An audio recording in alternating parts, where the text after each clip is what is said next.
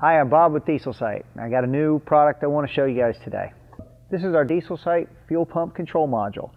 We developed this to use with our 94 to 97 CPR fuel systems.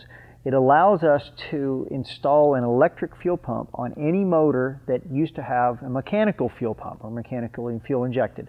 It has the inertia switch built into it. It has a timer board that is a key on option for 20 seconds. So you turn the key on, the fuel pump is powered for 20 seconds until the motor starts and then the oil pressure switch takes over.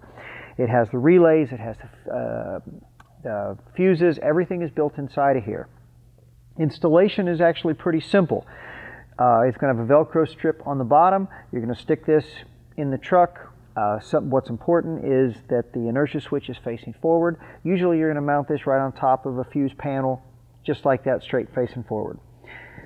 The wiring harness is this simple. It has a plug and play. That plugs directly into the module itself. You have an oil pressure switch that is included. This will plug straight into the oil pressure switch. You'll have one wire that goes to the uh, positive on the, on the uh, fuel pump, and then you'll have a positive and negative for the battery for power. That's, that's it as far as the install. This will work on uh, as well as any of the CPR fuel systems that we develop. It will also work on anything that you're trying to do yourself, whether it's a 6.2, 6.5 GM diesel that you want to put a new electric fuel pump in, a 12 valve Cummins, um, anything that used to have a mechanical fuel pump that you want to now put an electric lift pump on, this will actually be able to control it for you. So that's it today. I hope uh, everybody enjoys all the products we're bringing here at Dieselsite.